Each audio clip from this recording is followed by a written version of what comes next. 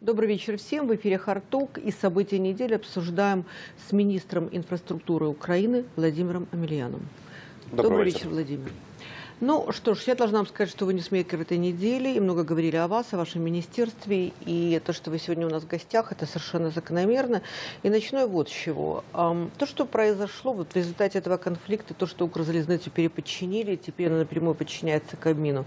Как вы считаете, это такое продолжение битвы между Народным фронтом и БПП, или же это действительно какой-то производственный конфликт? И за что эта битва? За это битва за урожай или за финансовые потоки? Е, Ви знаєте, насправді я себе відчуваю таким сумним ну, ньюзмейкером, бо я би хотів бути ньюзмейкером щодо реформи і щодо руху України вперед. Е, На жаль, ми мали абсолютно неприємний інцидент. Е, Ми мали факт, коли замість е, фахового обговорення ситуації, що ж відбувається навколо Укрзалізниці, пішли просто емоції на рівні хто ти, звідки, чого ти. Е, Тут немає політичного конфлікту. Тут навпаки, на жаль, відбувся такий, знаєте, дуже дивний одномоментний сплав з боку не зовсім порядних людей проти реформ. Сумно, що це відбувалося в присутності прем'єр-міністра. Я сподіваюся, що прем'єр-міністр буде мати можливість ознайомитися з тими матеріалами, які я йому надав. Ми готуємо зараз додаткову інформацію також, щоб мати фахову дискусію, що відбувається, припинити корупцію на Укрзалізниці і нарешті запустити ті реформи, які мали бути зроблені ще в минулому році, і продовжуватися в цьому році.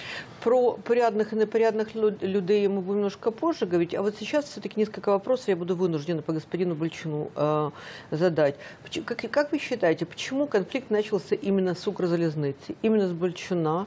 И э, знаете ли вы ответ на вопрос, почему все-таки вы, а, потому что, им- я так вижу, имел место и личный какой-то конфликт, почему именно так? Е, Ви знаєте, е, якраз дуже багато бажаючих, щоб зробити це особистим конфліктом між е, Бальчуном і Омеляном. Цього немає. Є конфлікт професійний і є конфлікт щодо того, що відсутня робота і відсутній прогрес. У мене не було жодних ілюзій, що хтось там дозволить Омеляну зробити глобальні реформи на Укрзалізниці. Але була чітка домовленість, що ми ці реформи будемо робити. І, власне, з цією метою був призначений Бальчун. І з цією метою я всіляко домагався того, щоб було незалежне правління, незалежна наглядова рада, щоб процес реформ був незворотній. На жаль, відбулася ситуація, та яку ми маємо станом на сьогодні. Реформи або відсутні, або є просто красива імітація, дають в пресу картинку. Ми там запустили потяг, чи ми там відкриваємо новий маршрут, коли концептуальні речі не відбуваються, а саме створення вертикальної холдингової компанії, завершення процесу корпоратизації, прозорість, ефективність прийняття рішень. Це все досі Я читала Facebook Бальчуна, там э, он вас так красиво называет мистер Хэппи, э, мистер Счастливчик. Э, Вот, и говорит о том, что да, ему пришлось непросто, ему пришлось трудно, но он выстоял и будет продолжать в том же духе и так далее. Я э, хочу вас спросить, с вами э, от, ва- э, от вас что-то зависело в его назначении? Это первый вопрос. Второй вопрос. Э, в соответствии с его трудовым контрактом, потому что для вас не секрет же, что были опубликованы, так сказать, его приезды и уезды с Украины, и выяснилось, что он достаточно много дней пропустил рабочих и не находится в Украине. А было ли оговорено это его контрактом, что он может работать, ну, как фрилансер, например, или может он покидать, так сказать, на... а, Потому что у нас по трудовому законодательству украинскому человек может иметь только 24 дня отпуска, все остальное служебные командировки. Ну и, наконец, а знали ли вы, что он, например, э, ну, знает только польский и английский, не знает ни русского, ни украинского, что, мне мне так кажется, существенно затрудняет подпись бумаг, а, общение с людьми и так далее. Вот, вот эти все вещи.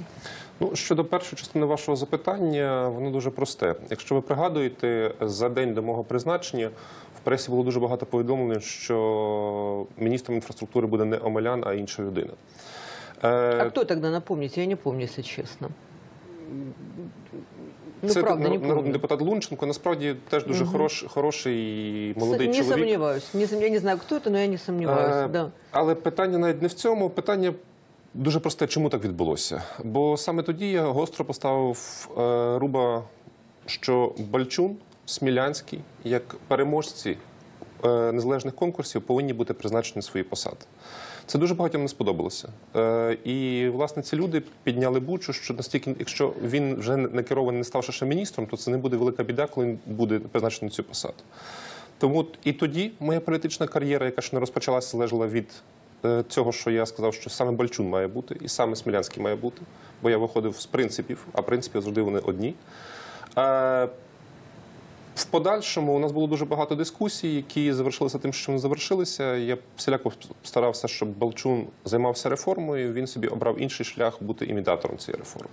І друге питання в ваше. его трудовом контракте? Е, Я бачу цю, цю довідку, яку підготували щодо його відсутності, присутності на роботі. Вона- Ми багато це обговорювали. Я йому пояснював, що Укрзалізниця не має такої можливості для керівника не бути присутнім То есть он вихідні не дні. фрилансер. Звичайно, тобто, ну я, я на своїй роботі кожного дня, і в мене, мабуть, за 9 місяців роботи було 5 неділь, які я не був, які я був відсутній. Все інше Как був- он объясняет свои вот эти вот э, отъезды? Він об- о, пояснює це європейською практикою, але насправді е, в мене дуже багато друзів працюють в європейських компаніях. І чим вища позиція європейській компанії, тим в тебе менше вільного часу. Я собі не можу уявити умовно Ілона Маска, який відпочиває половину свого робочого терміну перебування на роботі. Він весь час в роботі. Так само і інші топ-менеджери. Вони весь час в бізнесі, вони весь час в комунікації і не зникають з радарів е, своїх співробітників. От кого теперь зависит присутствие или увольнение Бальчуна на этой должности? Е, В будь-якому випадку це залежить від Кабінету міністрів України і безумовно від в першу чергу від прем'єр-міністра, чи він бачить його реформатором, чи не бачить. Е, Те, що хто вносить це подання, це формальність. Може внести на цьому етапі Міністерство інфраструктури, оскільки досі рішення про перепорядкування не е, підписано прем'єр-міністром і не випущене, не реалізоване. Е, Це може носити в подальшому, якщо такий варіант дивний спрацює, і Міністерство економічного розвитку, але насправді це умовність. Е, Хто приймає рішення, це прем'єр-міністр економічний. Владимир, мы начали с Большина э, только потому, что вот было это событие на неделе, потому что на самом деле концептуально я хотела с вами поговорить о том вообще, что происходит в министерстве. И, собственно, мы к этому и переходим. Я э, скажу вам честно, я сегодня очень рассчитываю на вашу искренность и на вашу откровенность, потому что м, история последних трех лет э, так называемого реформирования в Украине показывает то, что э, даже хорошие люди и хорошие э, там руководители и хорошие реформаторы ломались на том, что они не хотели выносить ссоры из избы. Не в будет сказано, что до сих пор вы тоже немного нам рассказывали о том, что там происходит внутри. Но, возможно, последние события что-то могут изменить. Итак, правда ли, что сегодня министерство поделено на сферы влияния? Ну, что я имею в виду? Перевозки и тарифы – это тема СКМ и тема Живаго. А, Есть братья Дубневичи, которые курируют поставки. Есть команда Евгения Кравцова, которая находится под влиянием Авакова. Есть Автодор, который находится под опекой Кононенко, а, Артура Герасимова. И есть знаменитое Дунайское пароходство, о котором будет сегодня отдельный разговор. Так ли это? И в результате чего э, государство недополучает минимум 2 миллиарда долларов в результате вот деятельности всех, так сказать, перечисленных. Я ничего не путаю, тут скажите мне. Е, Ви знаєте, це не зовсім так насправді. Не тому, що мені не хочеться визнавати якісь очевидні речі. Е, Справа в тому, що ми з Пивоварським ще в 2015 році багато зробили. Ми максимально знівелювали роль міністерства по впливу на державні підприємства. Тому роль міністра сьогодні набагато є більш обмеженою ніж часів Кирпи. Е, По-друге, е, не зовсім достовірно, що не менше точно, Аваков жодного стосунку до Кравцова не має. Можливо, йому так хочеться це подавати, пану Євгену, я не знаю, звідки у вас ця інформація. Але це різні орбіти і різні планети за величиною, які ніколи не пересікаються. Е, По інших фактах, безумовно, окремі впливи є. Але, скажімо, по тому ж у Укртодору є чітка домовленість, що ми робимо реформу. Мені дуже приємно, що Верховна Рада підтримала дорожній фонд, підтримала децентралізацію Укравтодору. І мені дуже приємно, що за минулий рік ми не мали скандалів з приводу підрядних робіт. Були проблеми з якістю, але ми не мали скандалів з е, хабарництвом, з вимаганням, з вертикалями е, відкатів, що було достатньо часто у попередні роки. Е, По морському напряму, як ви пригадуєте, 16-й рік був важкий на ці події. Мені випили дуже багато крові. Е, мені це коштувало дуже дорого особисто. Мы сейчас пойдем с вами по отдельным сегментам, вот по этим всем. Я просто э, концептуально хочу для себя понять. То есть вы считаете, что все публикации и все разговоры на тему о влиянии этих людей и о том, что они сидят на потоках, и часто на коррупционных, они преувеличены. Я правильно вас понимаю? Е, Вони присутні. Ці потоки присутні. Ці потоки мають місце, але потоки мають місце в першу чергу в державних підприємствах. Е, Безумовно, є спроби завжди підірвати міністерство зсередини. Це як ми мали з моїм державним секретарем призначення е, в кінці минулого року, коли фактично ця особа була нав'язана. Як незрозуміла поведінка окремих моїх заступників, але знову ж таки це нормальний процес, якщо ми робимо реформу. Ми за ніч її не зробимо, але ми можемо зробити її за добу. Хорошо, начнем с тарифов. Насколько я знаю, это такая основа, э, основа тарифа, это основа конфликта между СКМ а, и а, между Живаго и министерством. А, Эксперты говорят вот что, что эти тарифы занижены, и что э, благодаря этому, да, благодаря этому э, можно возить сырье, и государство недополучает серьезные деньги. Кроме этого, кроме этого, да, а, а, есть такая схема ЖД-тарифов с дисконтом фирмам, которая, так сказать, рядом находится, фирмам прилипалым, которые продают их бизнесу, фактически воруя бюджеты на ровном месте миллиарды гривен. Вот как сегодня эта ситуация разворачивается, скажите? Е, Проблема в тому, що не покращилася система тарифоутворення. По структурі тарифу Укрзалізниця нічого не зробила. Е, Дійсно, вплив великих компаній є. Безумовно, зацікавлені возити за безцінь, заробляти на цьому додаткові кошти. Е, Минулого року мені е, було з- мого боку було дуже багато зусиль. Ми підняли тарифи вантажних перевезень на 15%.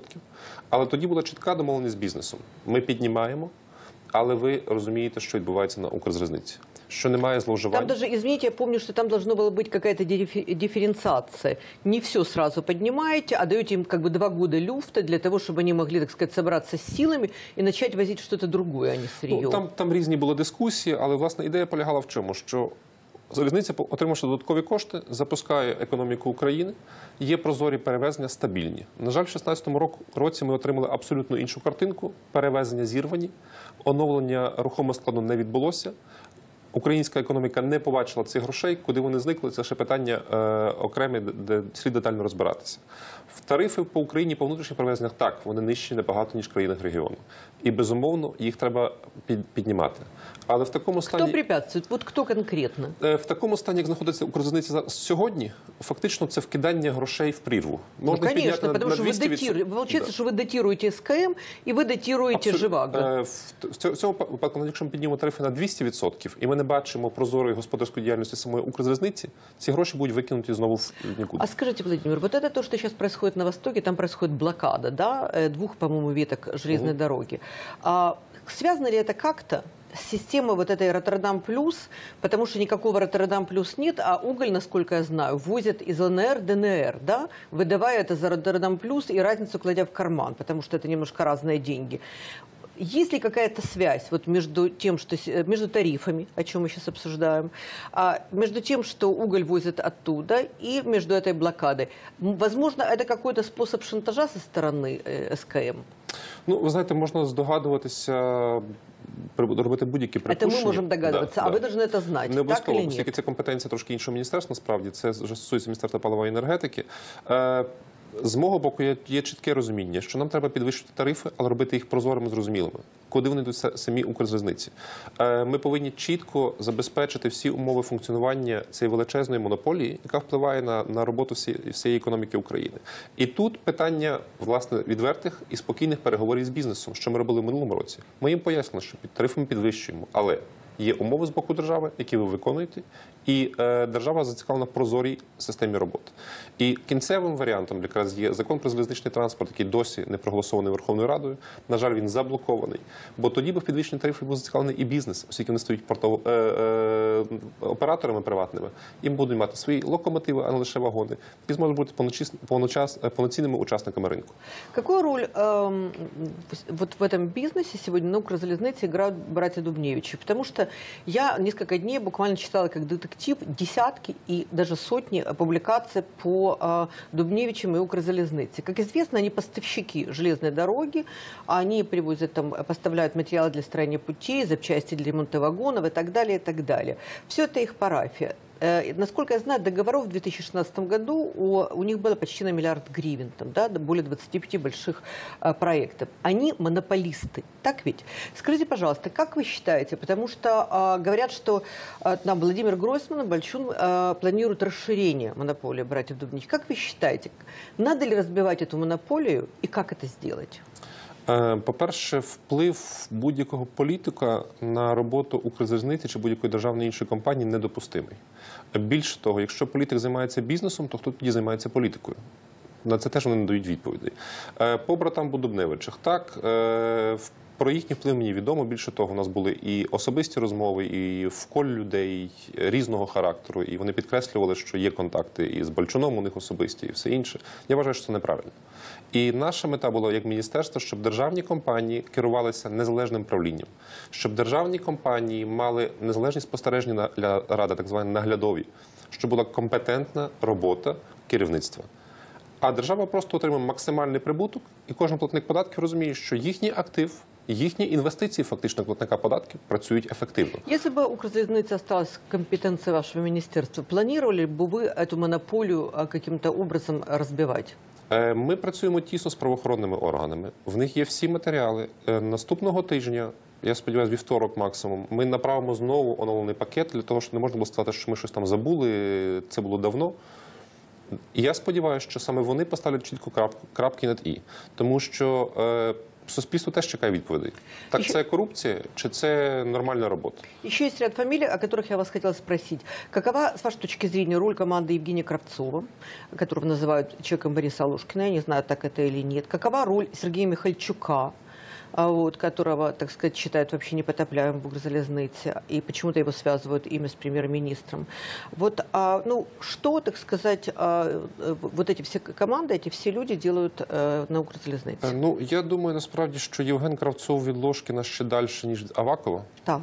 Е, У мене з ним була неодноразова розмова. Я йому казав, що Євгене, ви молодий хлопець, у вас все життя попереду. Ми працюємо на стороні правди, ми працюємо для держави. Для кожен для себе робить вибір. Я думаю почему-то, что он вам не возражал. Е, Він підтримав цю ідею, Да, а потім на- для мене був величезний сюрприз обстоїть середу. Е, Ну я так розумію, що в нього якась є своя власна мотивація. Мабуть, він краще може про неї розповісти. Е, Щодо пана Михальчука, так я неодноразово говорив прем'єр-міністру, я неодноразово говорив пану Дубневичу, я неодноразово говорив іншим е, високим чинам української політики, що це дискредитація самої ідеї реформи, присутність таких людей правлінні, е, що це неправильно і це чіткий конфлікт інтересів, коли представник того чи іншого м'яко називаємо лобійського групування, присутні в правлінні і причет- причетні до прийняття ключових рішень. На жаль, була реакція, що це, мабуть, політична доцільність чи компроміс. Ну, таке рішення А, було прийнято. Я э, видела некоторые публикации в интернете, это фейк или нет, вы мне сейчас скажите, о том, что в сентябре прошлого года Сергей Михальчук был задержан сотрудниками НАБУ при получении взятки. Насколько это соответствует действительности? У мене немає такої інформації, не готовий коментувати. Понятно. Автодор. А, вот мы начали немножко говорить об автодоре. Я знаю, что э, ну, там год назад, да, может, чуть-чуть больше, была такая идея вообще автодор, так сказать, под да, к автомобильной дороге Украины, ну, вообще просто аннулировать, да, и, э, так сказать, был, потому что через эту организацию отмывались как бы э, большие деньги. Но потом этот процесс был заторможен, она осталась, сейчас возглавляет господин Новак эту организацию. Но есть такие мнения, опять же, я ничего не утверждаю, говорят эксперты, говорят журналисты, многие пишут о том, что эм, эту организацию связывают с эм, Игорем Каноненко и с э, Артуром Герасимовым. Но официально я знаю, что, вот, например, Игорь э, Кан- Каноненко, сидя вот в этом кресле на вашем месте, говорил о том, что он много работал над тем, чтобы сделать фонд дорожный, и чтобы тогда выделила больше средств, выделили в 2017 году и так далее.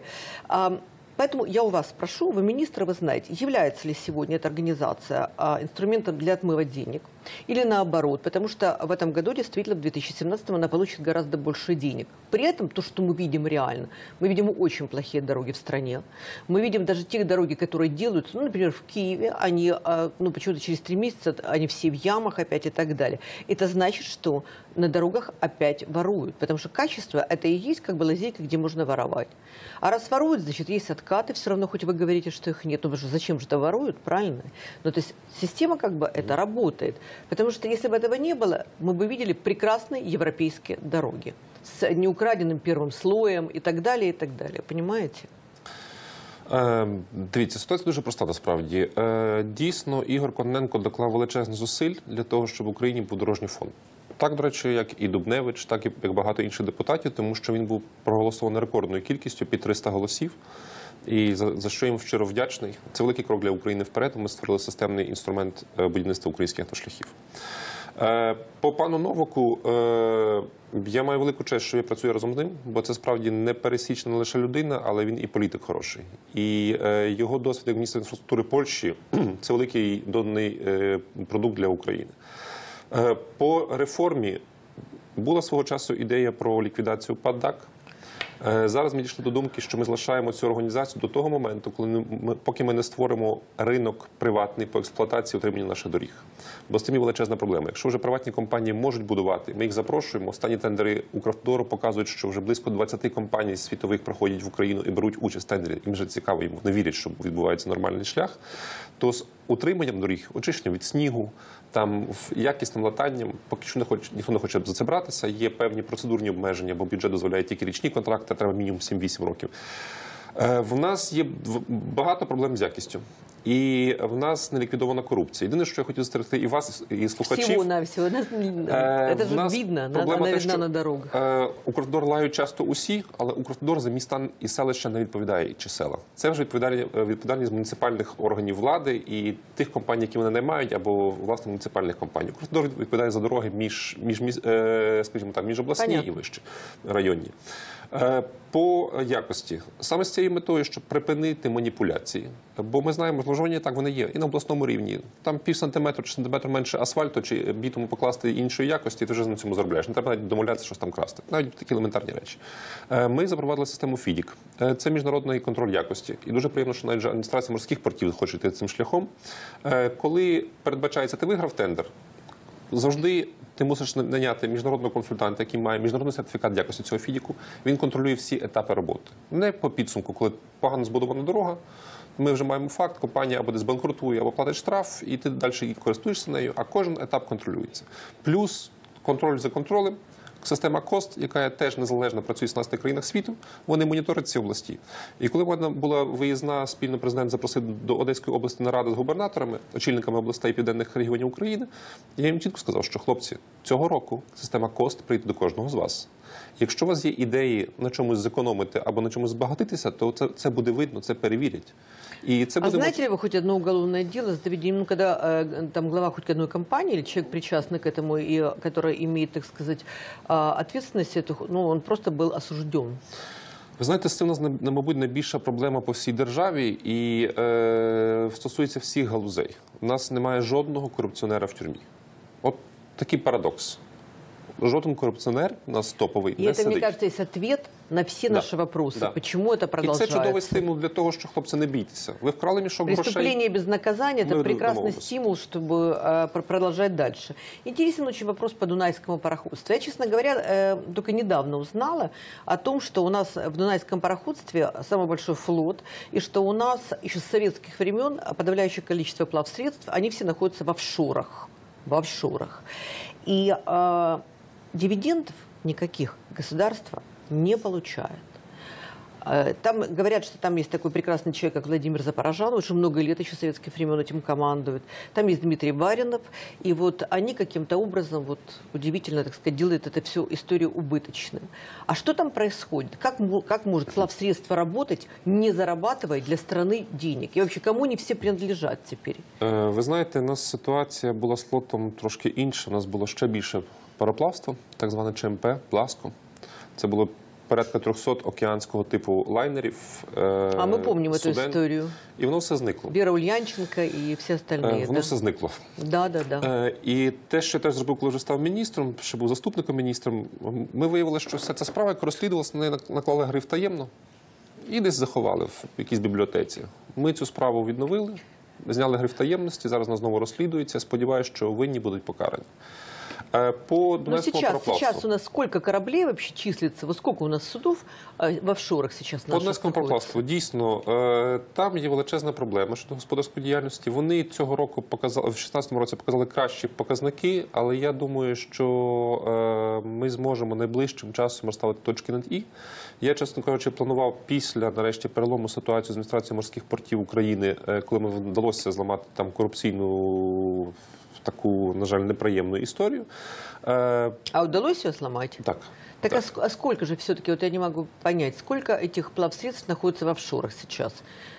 Давайте по кількості я вам ну, зараз не готовий прокоментувати чітко. Ну, Е, порядок цифр хотя бы Це, це какой. сотні, безумовно. Це сотні, і е, вони всі з- Сотни з- сто или сотни там 600, 500, сколько? е, вони всі з- під різною юрисдикцією, під різними прапорами. Я Е, понимаю Там это, дуже да. дуже дуже цікаві Ну, такі то есть скажімо, аудита запитані как історії. такового вообще нет. У История нас, все... у нас була у нас ну вот була я знаю, спроба... что есть арестованные суда, извините, что я вас перебиваю, там, допустим, я знала цифры 25, сейчас, возможно, уже больше, которые стоят в разных портах мира, арестованные украинские суда, и им никто не Ну, це, це не має стосунку до Донецького пароплавства, це, це проблема загального нашого флоту. Насправді займаємося, ми моніторимо ситуацію з багатьма і тісно працюємо з нашими посольствами за кордоном.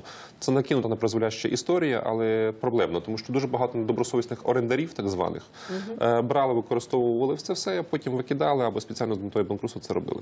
По Донецькому пароплавству, я думаю, що ми продовжимо цю тематику. У нас була спроба аудиту 2015 року, яка не була дуже успішною, але я думаю, що в 2016 році ми зможемо з- переговорити з керівництвом, з'ясувати їхню позицію, звірити із позицію правоохоронних органів і поставити крапку. А мне вот рассказывали, что в свое время а, там одна из больших, так сказать, а, компаний, которую я уже сегодня называла, одна из них, да, она там завела на Укрзалезницу в целом, допустим, свои полторы тысячи своих людей, которые там занимались лоббированием ее интересов. Насколько вообще, кто контролирует, да, там, скажем, сколько вот так называемых своих находится в министерстве, там, ОСКМ, извините, что я так задаю, сколько там людей с Живаго там работает, сколько там еще что-то. Вот как с этими вещами быть, потому что ведь система одна, э, Владимир. Люди заходят в Верховную Раду, Оттуда они назначают своих людей, там, не знаю, Энергоатом, Одесский припортовый, Укрзалезница и так далее. А потом уже все плотно садятся на потоки, и с теми людьми, которые традиционно там сидят, там компания такая-то, такая-то, они делят это все, да, и а, забирают. Вот как эту систему ломать? Ну, ви знаєте, хтось має взяти на себе сміливість почати говорити правду. Так? Тобто не займатися якимись домовленостями кулуарно, а потім давати суспільству радісні картинки чи слайди, що у нас там щось виросло кудись. А говорити про те, що нам необхідні системні речі, які йдуть одночасно на всіх фронтах. Не може бути у нас система реформа там в Нацполіції, Міністерство охорони здоров'я, Міністерство інфраструктури, а все інше там така сіра мряка.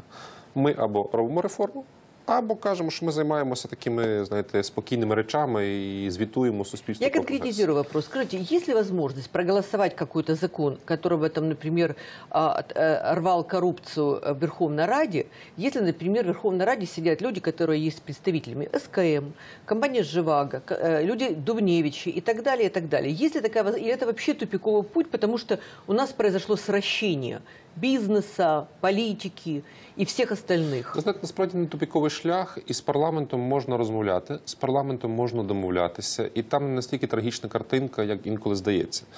Це довів досвід Міністерства інфраструктури і в контексті дорожнього фонду, і децентралізації Укравтодору, коли ми прийняли необхідні закони для галузі, і по електронному квитку.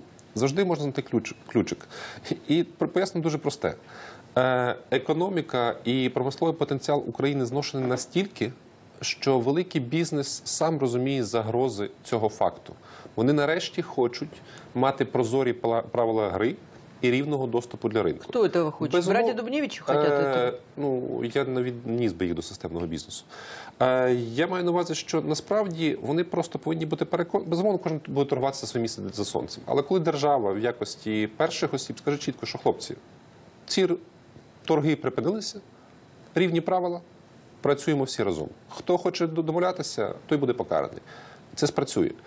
І всі розуміють, так само, як, до речі, закон про залізничний транспорт. У нас є просто відверте політичне лобі, яке не пропускає. Бізнес весь виступає за його прийняття. Міністерство виступає за його прийняття. Бо ми розуміємо, що що б ми не придумували, але завжди є найефективнішою модель приватної економіки. Коли ми маємо приватні компанії, які конкурують між собою, дають дешевший, якісніший продукт. Державні компанії це завжди буде стимул для тих чи інших зловживань Більших, менших, відвертих, прихованих, але вони Правильно будуть я вас мати місце. понимаю, что вы выступаете тогда за приватизацию там, Укрзалезницы, портов, ну всего, что еще сегодня государственное. Ми чітко виступаємо за приватизацію або концесію морських портів. Ми чітко виступаємо за приватизацію або концесію українського донецького пароплавства. Ми чітко виступаємо за те, що державним залишається інфраструктура залізнична, а отже, власне, сі- самі перевезення, е- локомотиви, вагони це ринок і. Укрзалізниця повинна на рівних умовах конкурувати з приватними операторами. Знаете, в кулуарных разговорах мне часто и бизнес, и чиновники, э, и топ-чиновники в том числе говорят о том, что конкурсы там, на какие-то должности или тендеры, а это все как бы носит очень а, условный характер, потому что и выигрывают всегда почему-то те, кто уже договорился, где-то там сходил. Поэтому уверены ли вы, что в случае приватизации а, все эти предприятия по каким-то очень льготным условиям, как это было там с э, другими компаниями, не получат свои, потому, учитывая теснейшее сращение политики и э, государства и бизнеса. Е, Причем дивіться, не системного, как вы и- правильно говорите. Безумовно, по конкурсах я вважаю, що ми дещо загралися. І Якщо ми хочемо швидкі реформи, має бути політична відповідальність не, не міністра, а команди. Кожен член команди відповідає за свій напрям і відповідає за ці призначення. Тоді ми готові швидко рухатися вперед. Якщо ми швидко призначаємо, швидко змінюємо людей, які не, не працюють адекватно. По е, приватизаційному процесу, е, от що ми робимо ми у себе Міністерстві інфраструктури? У нас є чотири світові інвестори: це General Electric, це Bombardier, це Hudson Ports і DP World. Це світові компанії, репутація яких бездоганна, які мають сотні, сотні мільярдів обороту. Вони готові заходити в Україну, вони готові пр- працювати в Україні. І для них це буде актив е, в капіталізації, якого вони самі зацікавлені. Туди немає жодних сумнівів, що ця модель буде працювати. Можна стільки завгодно переконувати, знаєте, що е, державна економіка ефективніша від приватної, так само як і люди, які досі вірять, що земля пласка, а не кругла. Але альтернативи приват ринку немає. Ринок повинен бути ефективний, держава повинна його контролювати тільки в тій мірі, що був рівний доступ. Оппоненты э, ваши говорят вот о чем. Все эти предприятия, они прибыльные. Просто эта прибыль растаскивается по а, частным карманам. Вот и все. Если оттуда убрать коррупцию, если оттуда убрать бизнесменов, которые там находятся фактически на потоках и находятся в полукриминальном, так сказать, с- состоянии и среде, то в- эти предприятия станут абсолютно прибыльными. Абсолютно, це те, що я кажу на прикладі Укрзалізниці. Туди теж погоджуюся, що Укрзалізниця має фантастичний потенціал. Це державна компанія, яка свого часу запускала авіакомпанії, авіаперельоти, будувала автобани. Все це вона може зробити і сьогодні. Просто ті корупційні п'явки, і політичні, і просто бізнесові, які присмокталися, не дають їй цього ресурсу. Але питання А стоїть в назовите іншому. хотя бы несколько фамилий. Вот просто вот я, я, очень спод- люблю я сподіваюся, що е, Как- так само, як, политические пиявки, так само, як я набрався раптової сміливості, е, так само наберуться сміливості правоохоронні органи, і ми зможемо спільно сказати суспільству, можливо, наступного тижня, можливо, через тиждень. Так на якій стадії перебувають е, кримінальні провадження, які питання А на кого сейчас есть э, криминальные дела? Е, Наскільки мені відомо, ці прізвища, які ви сьогодні називали, вони є впроваджені і в НАБУ, і в СБУ. І я би дуже хотів, щоб нарешті ми перейшли від довгого розгляду питань, бо це вже деякі питання розглядаються не один рік, а до відвертого завершення передачі до суду. Але знову ж таки, якщо можна я пів секунди буквально завершу свою думку. Е, Не може бути альтернативи е, е, вільного ринку, ефективного ринку. Тому що навіть якщо ми маємо очищену високоефективну Укрзалізницю, як державний монополіст, вона буде зацікавлена збереження свого монопольного становища. Для них завжди буде одна відповідь: підвищити тариф, то ми будемо краще заробляти. Окей, э, у Коли нас, у нас конкуренція, сейчас інший будет підхід. блиц, и очень быстро последний вопрос перед блицом. А, Многие сказали, спросите у Емельяна, как он вот выдержал этот Кабмин и почему он не положил заявление после того, как его там публично выпороли. Почему вы не положили заявление об отставке? Ну, ви знаєте, відверто кажучи, я вважаю, що е, мене не висікли публічно. Така риторика недопустима для керівництва держави, і це, на жаль, принижує державу.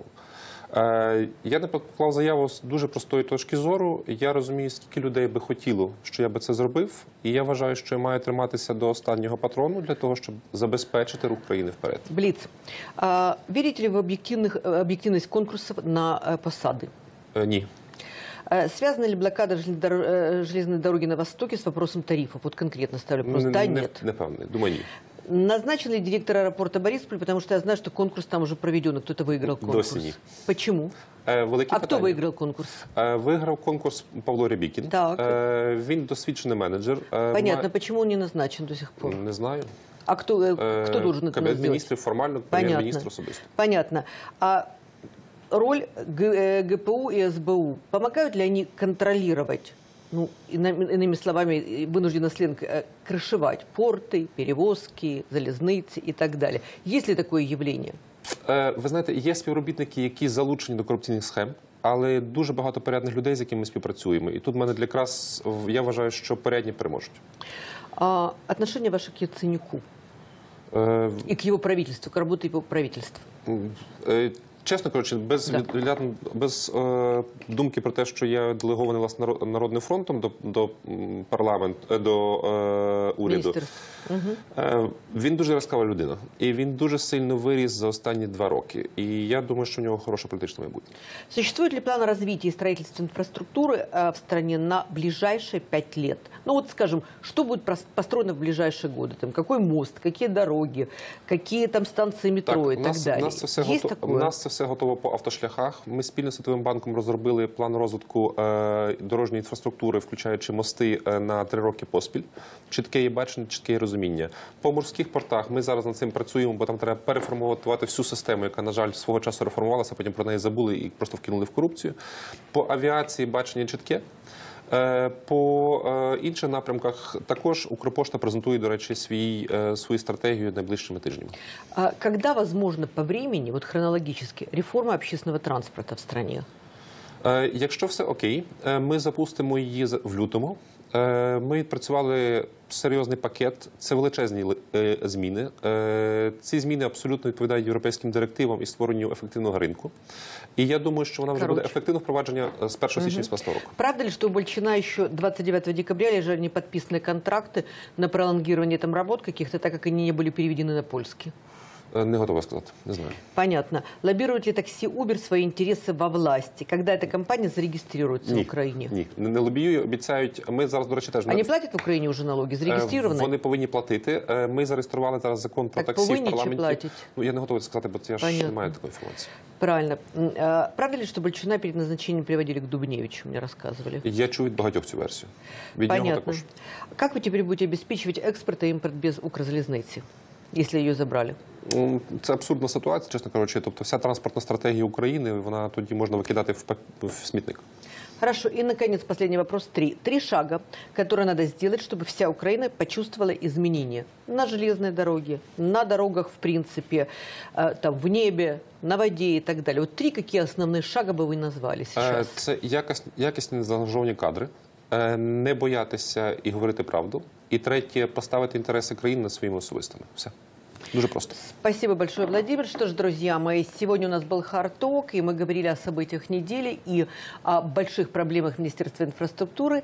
Надеюсь, вам было интересно, и вы услышали то, что вы хотели услышать. А я прощаюсь с вами, говорю то, что говорю обычно. Берегите себя, берегите тех, кого любите. До завтра. Дякую вам.